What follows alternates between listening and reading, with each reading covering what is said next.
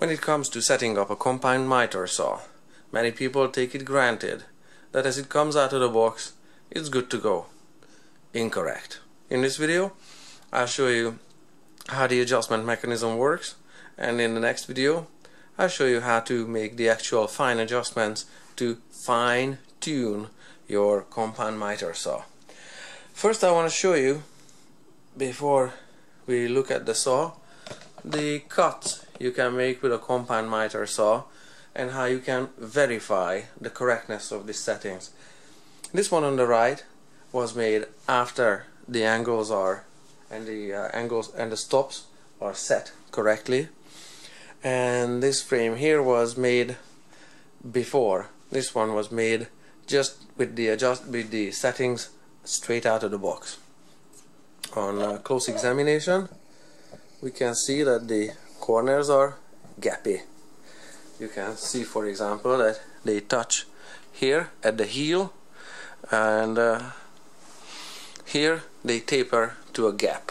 Say it's a 0 to 2 millimeter gap. 0 here 2 millimeters when it's widest there. Same on this corner.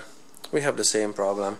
It tapers from heel to toe uh, 0 to 2 millimeters on the other frame which was produced after the adjustment you can see that the miter in its entire run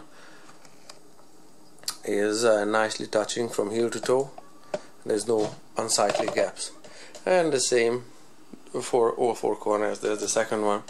So mm, before we do the actual adjustments like I said I'm going to show you on what parts exactly we're going to do these adjustments.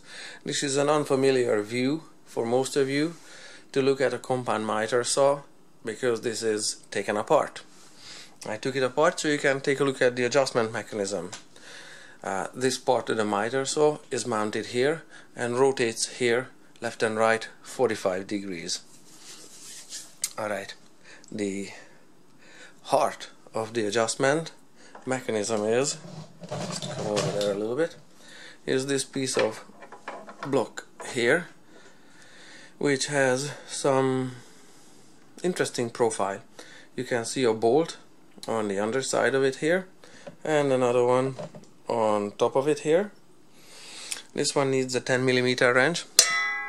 That's important because this will be accessible when it's assembled and we're gonna need to turn it with this wrench and uh, this bolt here is adjusted with a 3 millimeter Allen key or hex key and moves as it advances and, and uh, retracts it moves this bit, bit of uh, metal in front of it. So I'm gonna rotate it now so you can see how as it advances this gap here increased and as I retracted the opposite direction there.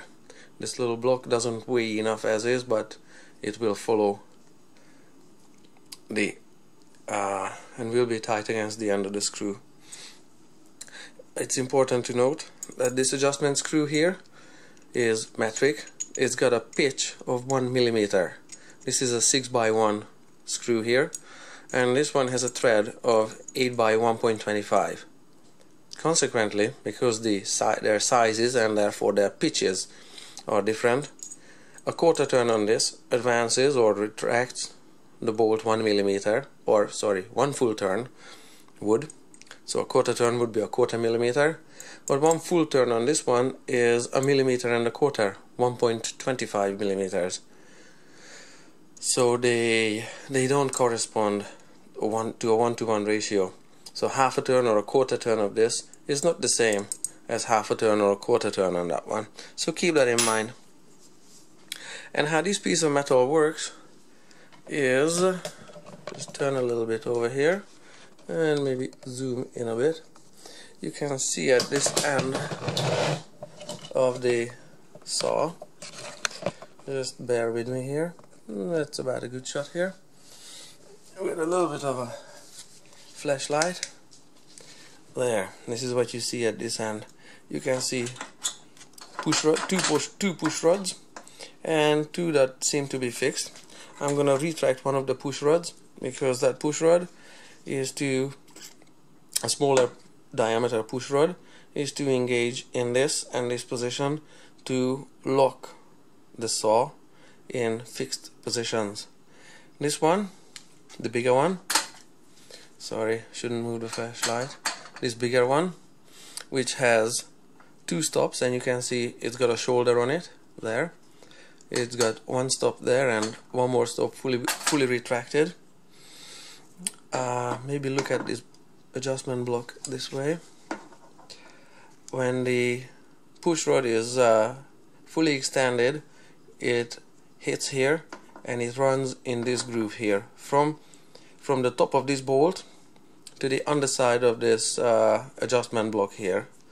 And we need to make sure that this distance here is exactly or this uh, angle of turn here is exactly 45 degrees. And when it's uh, when this rod is extended uh, one more stop one more stop out it turns an additional 45 degrees to from this position here to the underside of this little block here. And we need to make sure that this angle of turn also covers 45 degrees. So something like that would be the big picture. And uh, when I drop it back into the housing it's a little bit wobbly in it as it should. And uh, because uh, tightening and uh, fastening is done uh, in the process of fine-tuning the saw. One more thing about these rods at the end here this third one.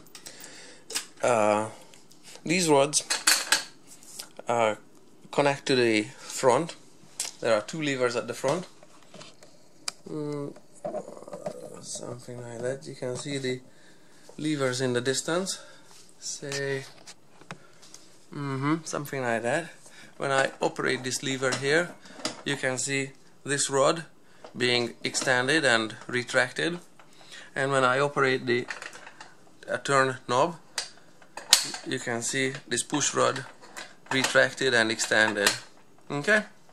So that's how this saw works. And this one is just here to uh, provide a pivot point. So I'm gonna put it together. And in the next video you can see the actual adjustments and uh, fine-tuning the compound miter saw